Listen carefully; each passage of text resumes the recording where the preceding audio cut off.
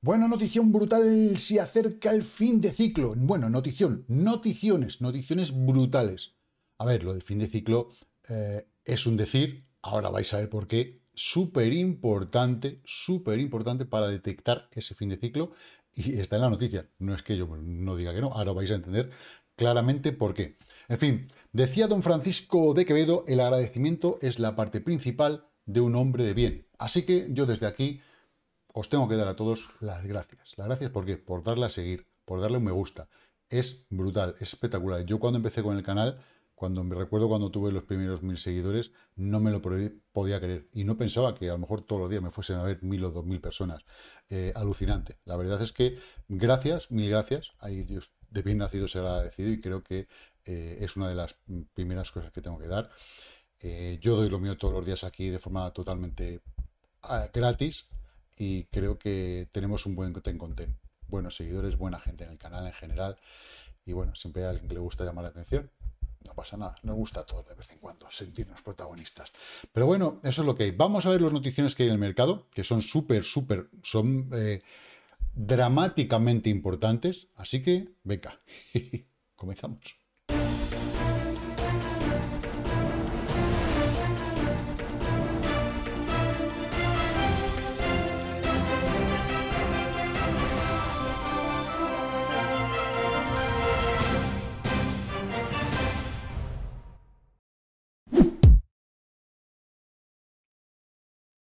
Bueno, pues lo dicho, notición. Bueno, esto no es tan importante. El CaixaBank se suma a la suma, se suma a BBVA y Santander y ultima su oferta de criptos para 2025. Ya están aquí como buitres. Va a entrar en vigor la ley MICA, ya lo sabéis, el 1 de enero del 25. Así que ya le da a las entidades financieras un marco regulado para, mediante el cual ofrecer criptoactivos. Bueno, pues es una de las cosas que se necesitan para tener esa adopción final. Vamos a ver cuáles son las que, las que se van a ir utilizando, pero bueno. Eh, en fin, por ejemplo, en el caso de Santander, habría optado por realizar una oferta a través de Open Bank, su banca digital, ya de una docena de TPs y demás, así que bueno, mm, algo muy light, Santander de momento no se moja, ha dicho, venga, que lo haga, vamos a, con un palo de la escoba, voy a, voy a hacer que Open Bank tire para adelante y a partir de ahí ya veremos ver qué decidimos. BBVA ya lo tiene en Suiza, en la filial, para la banca privada, ya lo sabemos desde hace años. Desde hace muchos años hay gente que dice, no, los bancos están empezando, que no, que no, que no, que los bancos llevan invertidos en Bitcoin, en criptos y en proyectos cripto eh, más que la mayoría de los que estáis ahí detrás. Más que yo, incluso en el caso de un banco español, español. O sea que, cuidado, porque BBVA, por ejemplo, lleva desde el 2015 invertido en proyectos, incluido Coinbase, ¿vale? Cripto. Ya se, desinvirtió en Coinbase hace tres o cuatro años, pero cuidado, cuidado con lo que muchas veces tenemos una creencia que no es así. Nos han mm, cortado las alas a los demás para ellos ir adelante y ahora ofrecernos lo que antes estaba prohibido para ellos. En fin, notición súper importante, y esto sí tomar muy buena nota aceptamos las cookies. El gigante fintech Stripe comprará la startup de criptomonedas mm, Bridge. Compra Bridge. O sea, ya empezó ofreciendo USDC, súper importante. Eh, fue un boom el, uso de USDC en Stripe. Y ahora compra la, startup de criptomonedas en valorada en 1.100 millones de dólares. Bueno, pues aquí lo tenemos. De momento no hay demasiados comentarios. Mucho ojo, yo estoy súper atento, estoy intentando y os agradecería a todo el que estuviera y que en cada, en cada momento pudiera verlo cuando narices sale Stripe a bolsa porque eh, creo que hay que meterle chicha. Y una noticia más importante todavía. Fijaros si esta es importante. Bueno, pues más importante y más bestial que nos va a afectar en el medio y largo plazo, seguro, y es esta. BRICS 2024, un camino hacia la desdolarización. Bueno, pues los BRICS han presentado ya y han probado la tarjeta del nuevo sistema de pago que pretende eh, competir con los occidentales, el BRICS Pay. Una tarjeta que contiene, bueno, 5,13 dólares que se podrían gastar durante el foro del 17 al 18 de octubre y en tiendas con eh, marcas especiales BRICS Pay. Es decir, bueno, ya un sistema completamente fuera del SWIFT occidental. ¿Vale? Así que eh, ya está ahí, ya empiezan a haber movimientos. Vamos a ver qué movimientos hacen ah, el otro bloque, ya estamos aquí en bloques, aunque yo creo que aquí hay tres bloques. Está el de los BRICS, está el occidental de siempre y está el de los indecisos, que a ver quién compra a quién, ¿no? Esto empieza cada día a parecerse más a 1984, y me refiero al libro. Así que bueno, esto es lo que, lo que tenemos. Mm, es, creo que es una noticia muy importante. Ya iremos viendo cómo, cómo poder aprovecharnos también de esto en su momento. En fin, vamos al mercado y el mercado que nos dice, wow, bueno, decíamos el rebote del USDC Dominance ha rebotado hasta un punto, está en una zona de indecisión, veis que bajó, subió, está ahí. Digo, ¿qué hago? ¿Qué no hago? Bueno, pues ahí está de momento paradito. Eh, yo creo que el camino más inmediato es volver a bajar. Ha, ha perdido la zona de soporte, la retestea, si no puede, si no puede, bajará. Si puede, pues ya sabemos que todavía tiene ahí un pequeño margen. Eh, esperemos que sea pequeño, ¿no? Y que todo vaya donde tiene que ir. Por su parte, Bitcoin. Bueno, eh, velas de cuatro horas, vemos que han intentado tirarlo, tirarlo, tirarlo, tirarlo, tirarlo, y cada vez que ha venido a la zona de los 66 máximo, máximo, máximo, 600, bueno, depende del exchange, hay algunos que ha bajado un poquito más, bueno, pues rebota, rebota, rebota, y tu culo explota. Pues eso, ahí está. Eh, Bien, de momento como zona de soporte la sigue probando, sigue muy muy bien en, cuanto a ella y la zona de resistencia la tenemos clara en 69.500 aproximadamente. No hay mucho más que decir al respecto. Para mí, si de momento esta zona está haciendo el soporte y vemos que en rango de 4 horas, si nos vamos al rango horario, joder, ostras, vemos aquí pim pam, pim pam, pim pam, pim pam, pim. Ahora, ¿qué hay que hacer?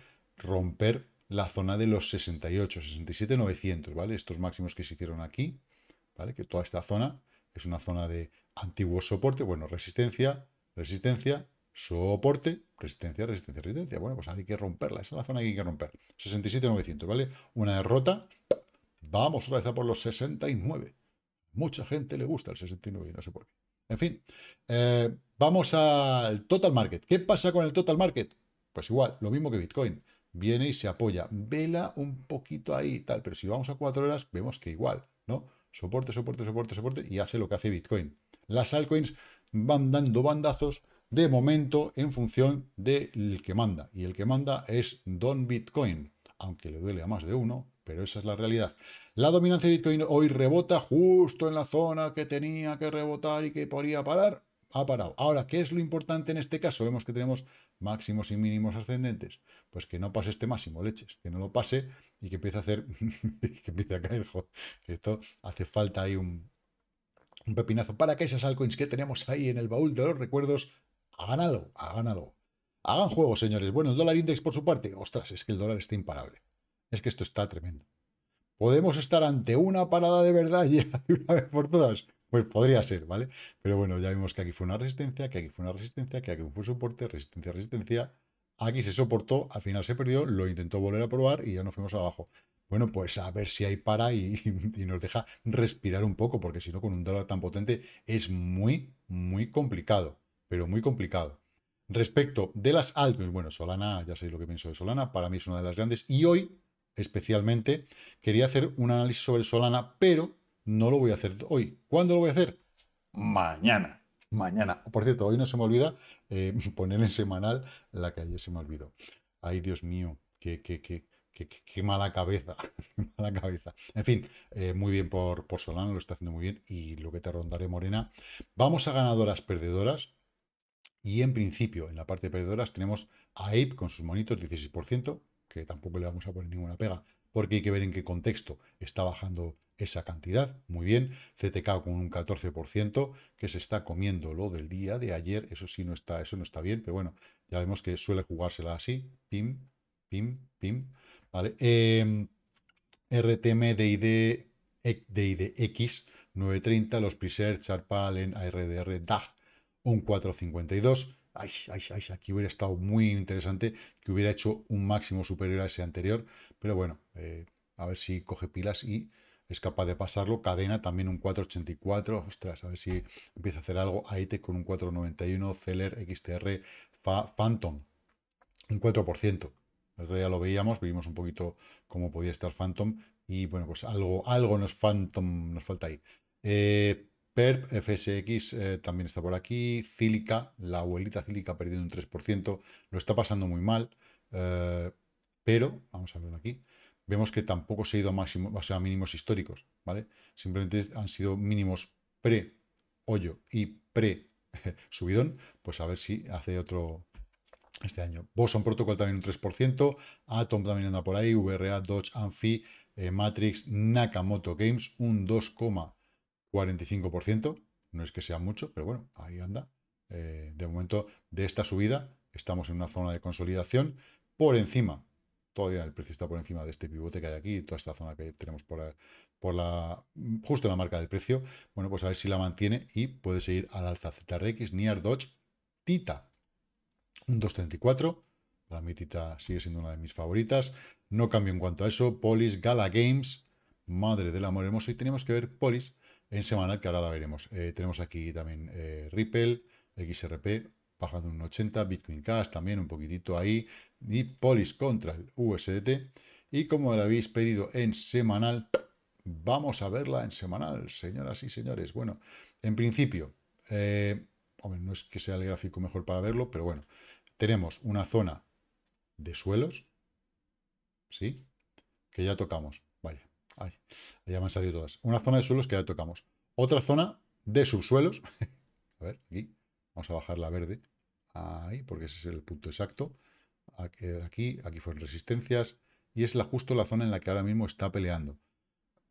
A partir de aquí, ¿qué buscamos? El siguiente impulso que sea por encima de los 0.24. ¿vale? Que ya se venga a este pivote que tenemos aquí en semanal.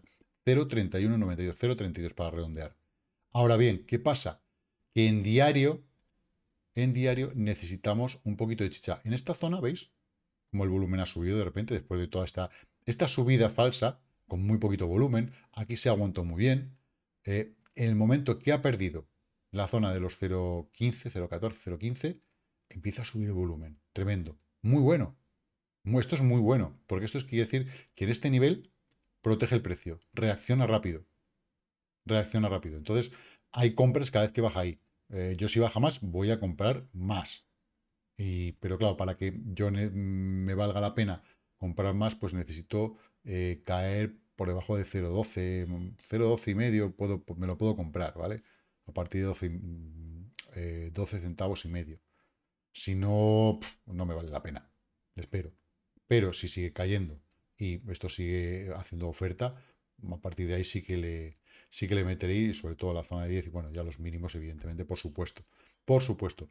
Eh, y siempre teniendo en cuenta que si le vas a meter mil dólares, eh, lo dividas en tres partes. ¿vale? Eh, atentos a los R6, cualquier cruce que haya al alza y bueno, pues también sobre todo nuestro alerts, que de momento nos dice que estamos por debajo de la línea de puntos verdes, con lo cual seguimos bajista hasta que no la empecemos a ganar hacia la línea de puntos rojos y subamos a hacer cuerpos verdes, no vamos a poder hacer mucho con, con ella. Venga, vamos a la parte positiva, que también la hay, también la hay, por supuesto es poca, pero algo hay, Alpha Ray Voxel, con un 787, que toda esta zona que era una resistencia, resistencia se la resistía, y bueno, pues la ha pasado. Ahora a ver si va pasando de pivote en pivote y tiro porque, por eso, porque le toca. CVC, em, CVC lo ha hecho muy bien, lo que salió demasiado disparada, retrocede y posiblemente aquí tenemos otra confluencia con la línea de tendencia, esta línea de tendencia anterior, más la zona horizontal, bueno, lo importante es que ahora consolide y pueda pasar bien esa resistencia, ¿vale? Pueda seguir al alza. BIM, SLPs, que también hacen de las suyas. Caspa, un 4,83 al alza. Eso está bastante bien. Tiene que pasar esta línea naranja en el, entorno de los 14 mm, centavos con 4. Eh, SERS también, Melos, un 4,53. Y alguien me ha dicho, oye, podemos ver también Melos en semanal. Pues vamos a ver Melos en semanal. De momento, soporte, soporte, soporte, soporte, soporte, junto con confluencia de línea de tendencia. Buena zona en principio. Veis que aquí empezó a bajar, se ha resistido a seguir bajando. Evidentemente, si tirásemos bien esta línea de tendencia, nos, daría como esa zona de soporte, porque claro, eh, ahí, ¿veis? Tenemos un toque, un toque, un toque, un toque y un toque. Entonces estamos dentro de esa zona. No es una línea exacta, vuelvo a repetir. Incluso en este caso sería más exacto veniros aquí y hacer esto. Plus, plus, O sea, eso sí sería la zona de la línea de tendencia, ¿vale? Con eh, esta herramienta de rectángulo rotado lo podéis hacer, ¿vale? Y podéis hacer marcar esas zonas. Pero bueno, para no enguarrinar ya bastante guarra tengo la, la gráfica. De momento, si nos vamos a semanal, ¿vale? En este caso, vemos que, y vamos a apagar el largo de Navidad que tengo aquí, porque claro, lo, utilizo en corto, muy corto plazo. Entonces, bueno, fijaros cómo se está apoyando en esta zona, mismo ha venido, se ha apoyado ahí, está buscando refugio en esa zona, que ha habido eh, liquidez en el pasado y que fijaros cuando la perdió, cómo empezó a subir el volumen. Mirar, desde esta caída el volumen subió, subió, subió, subió, subió, subió, subió, subió, hasta este máximo, a partir de aquí ha empezado a reducir, pero está todavía en un volumen más que interesante. ¿vale? El volumen de esta semana, bueno, todavía está un poquito ahí, ahí tontito, tontito, pero claro, al día que estamos es normal. Eh, creo que va a subir bastante más. Entonces, ahora mismo, objetivo, lo tenemos aquí, en este pivote. ¿Veis? 003277888. Pues ahí, ¿vale? Con este máximo que. Ahí tenemos nuestra línea. Si la trazásemos, veríamos que aquí tenemos un máximo con un mínimo con un máximo, con un máximo. Entonces, esa es la línea objetivo de todo este movimiento. Evidentemente no lo hace de golpe, va poquito a poquito, poquito a poquito, porque también hay que tener en cuenta que es un valor chiquitito y hay que tratarlo como tal. ¿Vale? Venga, seguimos y tenemos, vamos a diario otra vez, vamos a poner aquí la gráfica en diario. Eh, Sai Bome, un 358, vuelve a hacer zona más o menos en la, solo en la misma zona. Link, un 316, buena cosita, también anda por ahí. Store, Noodle y Rune, también un 2,84, intentando romper esta zona que tiene aquí de resistencia con un banderín. Pam, pam, pam, pam, pam, pam. objetivo, siguiente pivote, que lo tenemos aquí arriba en los 6,30. Eh, bueno, ya tenemos por debajo, pues ya Mana, HTN, TIA, FIO, XPR, COTI, COTI, 2,41. Y bueno, pues lo he dicho, línea de tendencia, pullbacks, acumulación, ruptura. Tenemos que ir a la zona de los 0,13 para ya irnos, empezar a ir a escalar pivotes por ahí. Y bueno, poca cosa más porque, bueno, el resto ya tiene pocos beneficios, tampoco son muy importantes. Solana sí que está, bueno, pues dentro de la zona de beneficios con un 1%, por encima de la línea de resistencia que teníamos, que ya yo creo que de momento, ya para, para que mole más, vamos a hacerle un clic, vamos a ir a nuestra plantilla y la vamos a cambiar como zona de soporte. ¡Tachan! Es más guay, ¿sí? Entonces vemos claramente como toda esa zona se ha roto, nos hemos apoyado en ella y intenta seguir al alza. ¡Wow! Volare, volare. Así que bueno, de momento en el día de hoy estos señores de los ETFs han decidido que tenemos un día verde, aunque, aunque hemos tenido una apertura con un gap negativo, cerramos aquí arriba y hemos abierto aquí abajo. Día verde, pero en realidad es negativo y por eso están todos en rojo. Vemos una vela verde, valores en rojo. Eso es lo que tenemos, gap negativo.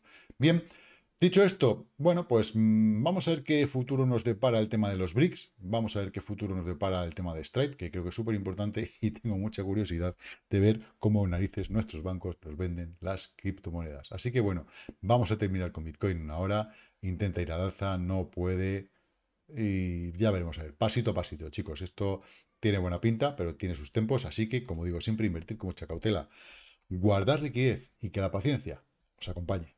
Chao, chao.